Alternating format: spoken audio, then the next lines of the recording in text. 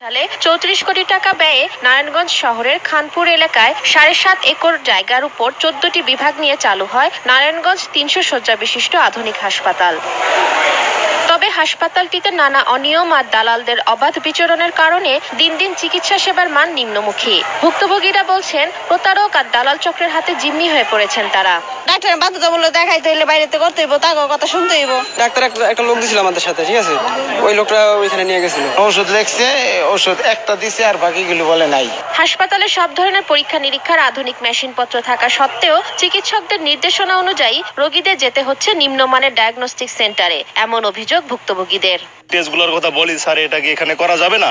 বলে এখানে করা যাবে কিন্তু রিপোর্ট ভালো আসবে না। পরীক্ষাগুলো মডার্ন থেকে করানোর জন্য দিছে। এগুলা হয়তোবা যেই পরীক্ষাগুলো দিছে এগুলা সরকারি যে হসপিটালের মধ্যেই ব্যবস্থা রয়েছে।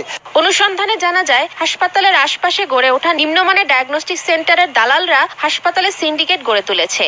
হাসপাতালের চিকিৎসক থেকে শুরু করে কর্মকর্তা কর্মচারীদের অনেকেই কমিশনের ভিত্তিতে এই সিন্ডিকেটের সাথে জড়িত বলে অভিযোগ এলাকাবাসীর। দালাল চক্র আমাদের যদি বলে এই চিকিৎসাটা আপনি এখানে না করে এই চেম্বারে চলে যান আমরা স্পষ্ট জানি না এই অ্যাঙ্কারেজটা কে করে। গত তিরিশ বছর যাওয়ার থেকে এই পর্যন্ত দালাল হাত হাসপাতাল জিম্মি। আমরা দালালের মাধ্যমে আসি না, সরাসরি আসি বলে ডাক্তাররা আমাদের সাথে বিহেভটা অন্যরকম করে।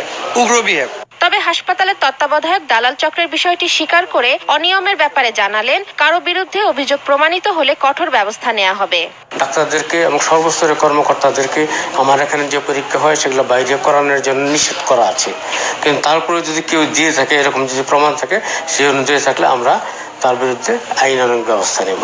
নারায়ণগঞ্জ তিনশো শয্যা হাসপাতালের জরুরি ও বহির্বিভাগে গড়ে প্রতিদিন দেড় হাজারেরও বেশি মানুষ চিকিৎসা সেবা নিতে আসছেন। সময় সংবাদ নারায়ণগঞ্জ।